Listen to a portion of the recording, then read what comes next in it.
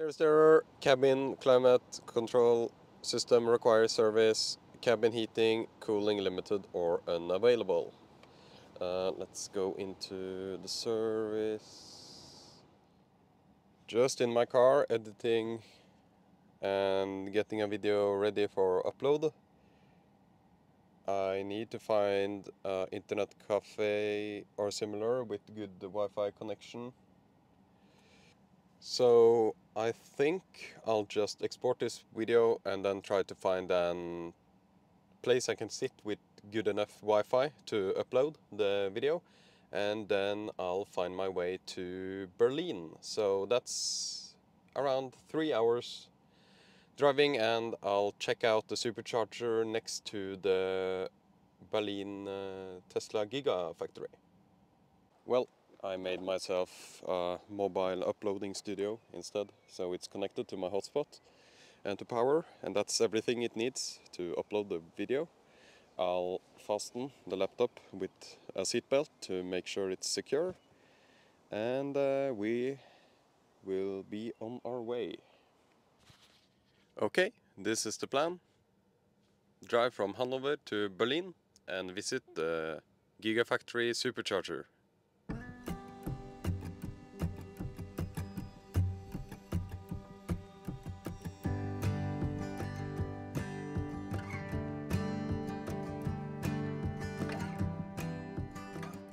We have arrived at, let's say, what's the place here? Irxleben supercharger. We arrived at 4% and we are charging at 230. Let's see if it creeps up. No, it doesn't. It just preconditioned for like maximum 5 minutes. Uh, because of my low state of charge, it wanted uh, me to have a uh, buffer, which is understandable when driving on the autobahn.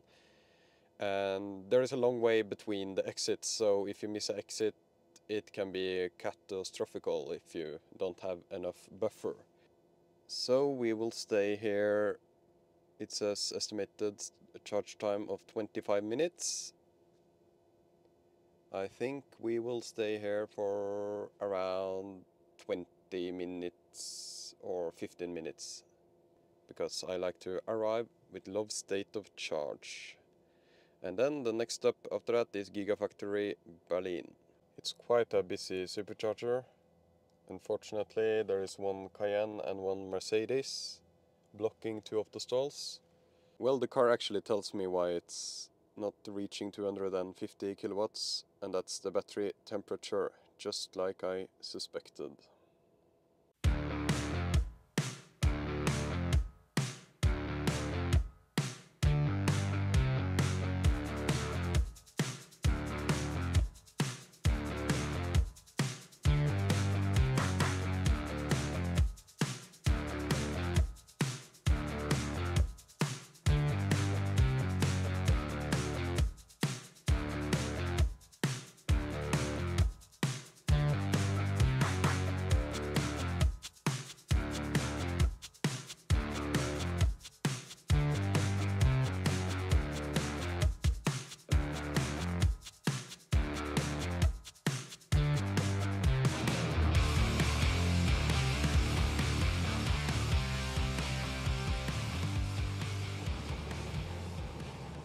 We have an uh, average efficiency of 220 watt hour per kilometer on this stretch. This is due to some high speed uh, driving on, in the unrestricted zone.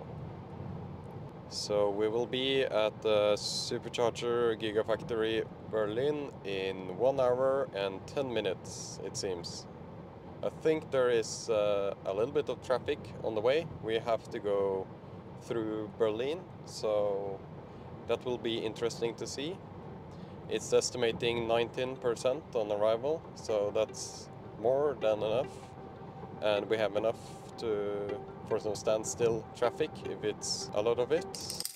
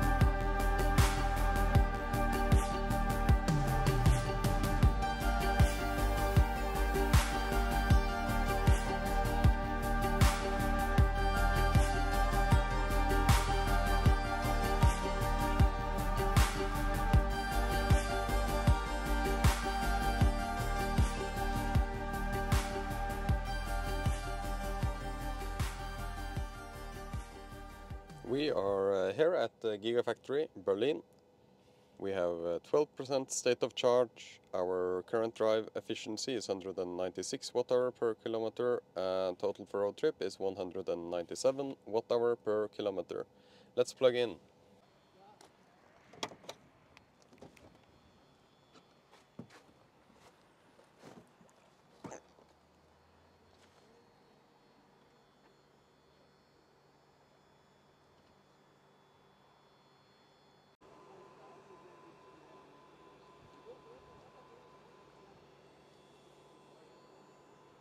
You can now supercharge at Giga Berlin and we are here to take a look at this charging station. So first of all, there are probably seems like 200 level 2 Tesla wall connectors everywhere and they seem uh, open and free for everyone. Here we have the superchargers lined up works very nicely. Of course, version 3 should be version 4 here, to be honest, but no problem. And we have bathrooms with a canopy. I talked, I talked to this nice guy um, that is over at the level 2 charger here. He has lost his credit card and was not able to supercharge so he uses the free level 2 charger. Uh, we are at 74% and now we are going back to the Netherlands after making a video here.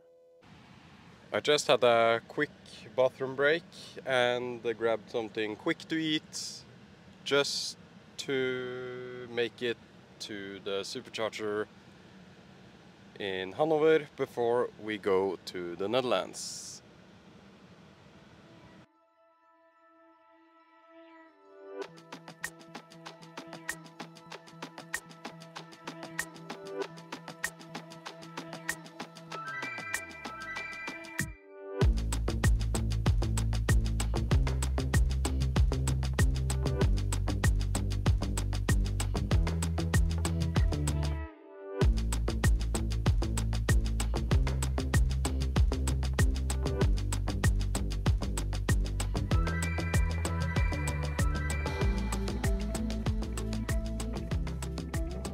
I didn't film that much uh, since we left the, the Gigafactory because I was just cruising on the Autobahn in uh, nice weather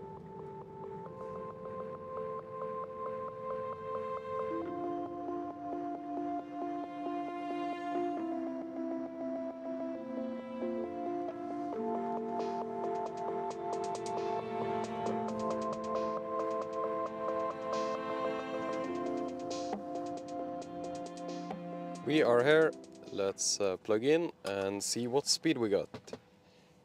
This is the Hanover supercharger and it says we will have to stay here for 40 minutes. I guess we will stay here less.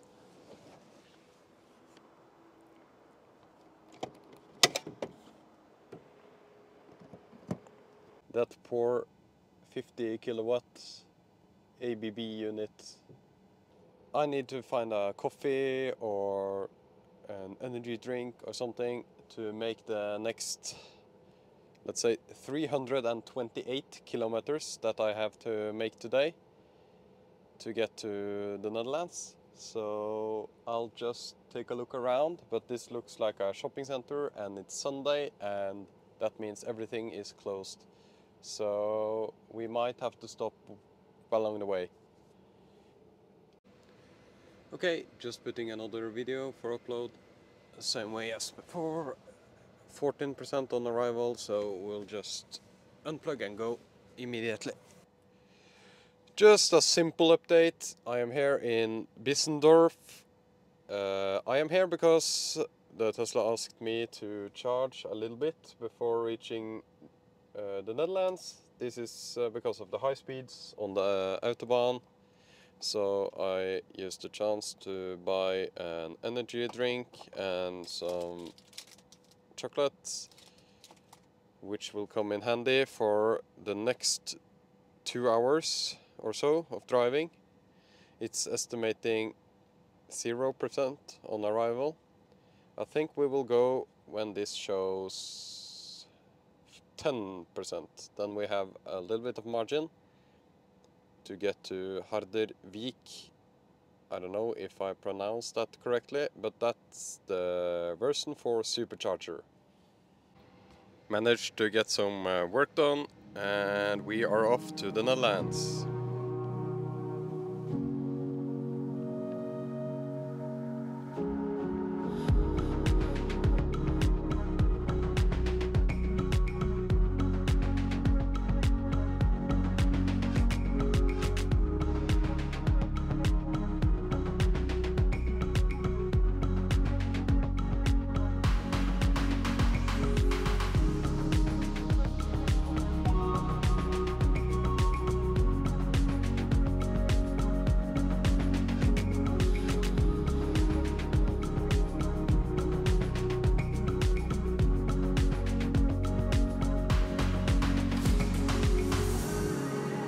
Now we have an average efficiency of 191 watt hour per kilometer.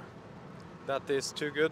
Uh, we want to reduce our efficiency. So I have opened both the windows and turned the heater on max.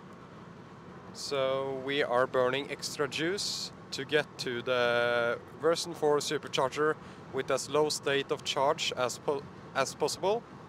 But due to the maximum uh, speed limit in uh, the Netherlands, it's not easy to just hammer and then, uh, yeah, you know, you have to use other measures to reduce your efficiency to arrive at low state of charge.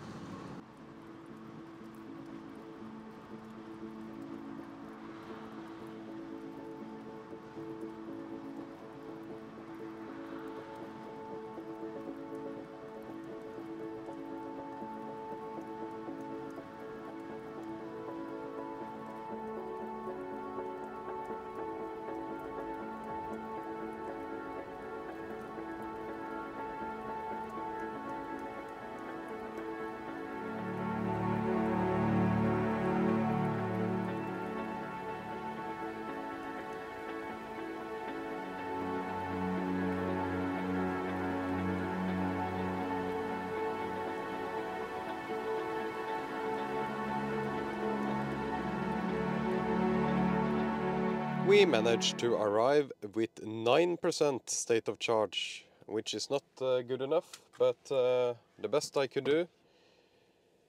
For now, it's uh, getting late, so let's plug in.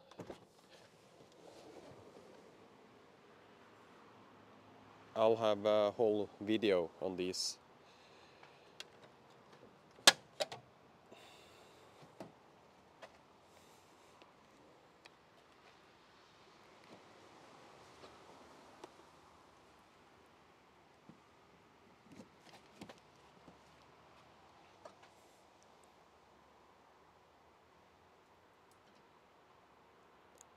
Pretty fast. They are huge. Okay, I've made a video on these. I might go back tomorrow to get some better daytime shots. But they are very nice, of course.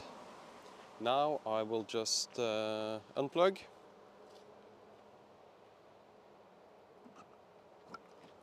And go to the hotel. We are done eating breakfast and ready to move along. Today we're going to check out some uh, charging stations and our final destination is München or Munich. First I need to buy some water and get some sunscreen. I just uh, stopped for a bathroom break because uh, because of uh, all the water, of course. And uh, thought that I might as well top up a little bit on this EV Go, which is very similar name to the US CCS uh, network brand, but uh, it's not affiliated.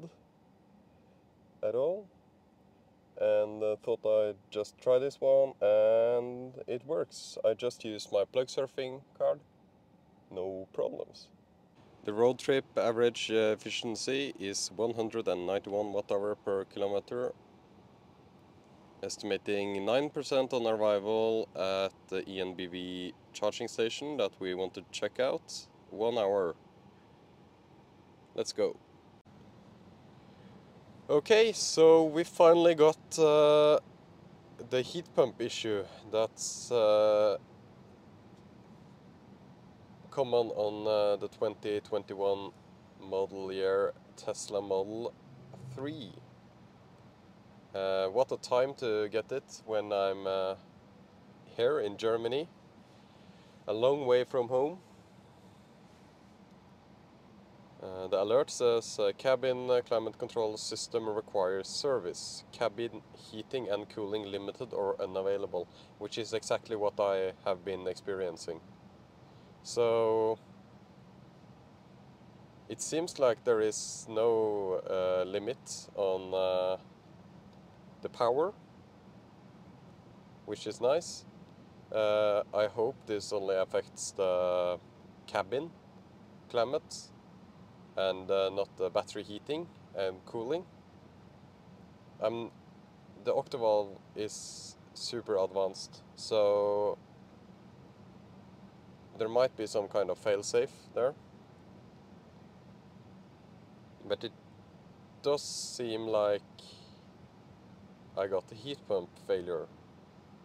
So I will go charge now, see how that works and then I'll probably go to the nearest Tesla service center, drop in, and just ask what can be done. But probably I need to drive this home to Norway and get it serviced there, uh, which will be, uh, well, temperature it's not the worst right now, so I guess it's fine. The only thing I'm uh, concerned about is, of course, um, fogging uh, of the windows which is kind of scary and happens very fast.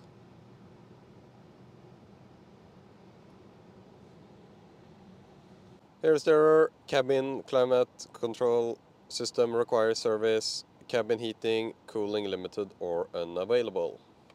Uh, let's go into the service. Uh, service menu enable. If we go in here, maybe we can see some more stuff.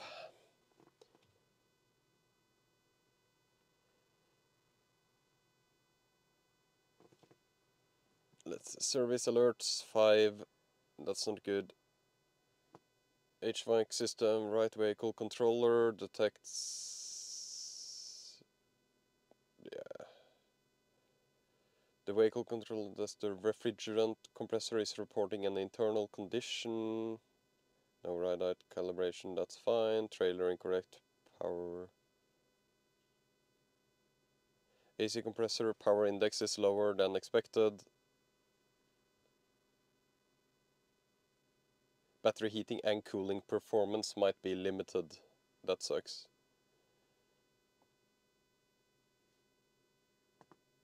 Okay, let's uh, charge up here since I need to charge and uh, then I'll see if there is a Tesla service center nearby. Let's exit. There we go.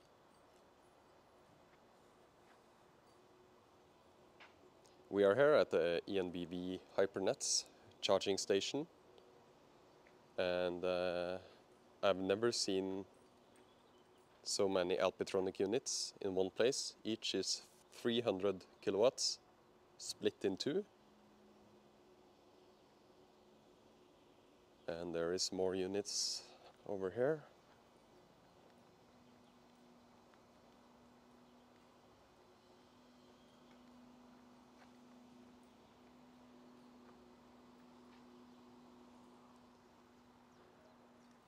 So now I'm going to check if I can use Plugsurfing here.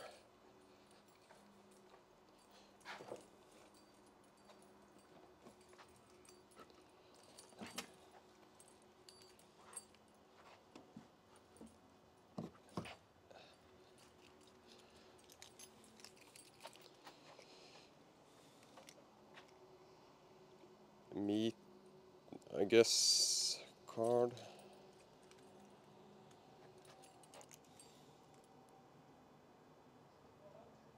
Awesome. The contactors clicking, ramping up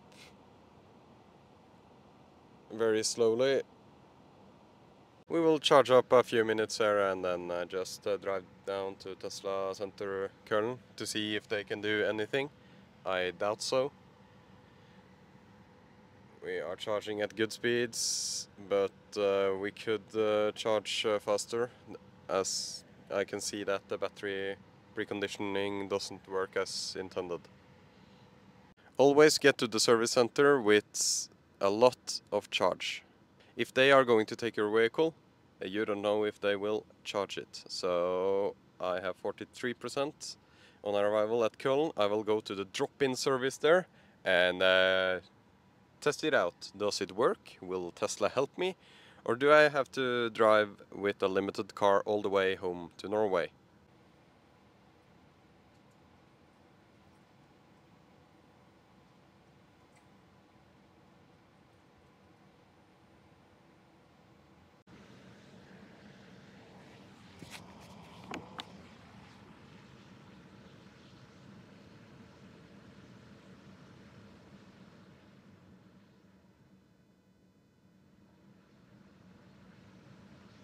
And we still get the error. Okay, then we will go to the service center. I was just inside and they told me they don't have the parts to repair, so there is no reason to stay here. They could order, but they don't have a loaner. The easiest way for me is to drive to München. They will order in the parts and we will do a smart transition to a loaner if it's needed. So I'll get on my way to München, which is the next stop, and it's around 5-6 hours from here. Our first version 2 supercharger will just juice up here for 30 minutes while I get some food and we will be on our way to München. We are here at uh, Leonberg version 2 supercharger we are charging at 133 kilowatts and we have around two hours left to the hotel. I have requested service through the app uh, in Oslo with my concerns because I feel safe driving with the system as it is now. It's just some issue with the pressure in the air conditioning. Uh, and uh, I'll, I'm able to maintain cabin temperature. It's a bit noisy, but nothing, it's not getting worse. So I think I will drive like this home and then get service in Norway, just to make sure that I don't need a loaner or appointments here, because that's cumbersome when you are on a road trip. I just realized there is a version 3 supercharger just here.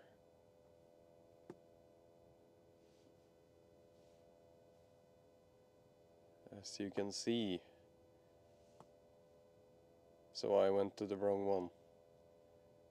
But this wasn't here the last time I was here. It's a new one.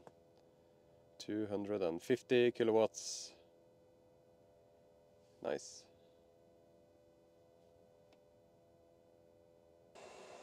We did some autobahn driving here to get there quicker and that's our efficiency 230 watt hour per kilometer. I think the average speed was around 160 170 kilometers per hour. We are charging at 190 kilowatts and next stop is the hotel. We still have the alert here, of course. And then I'll just go to sleep because I'm super tired.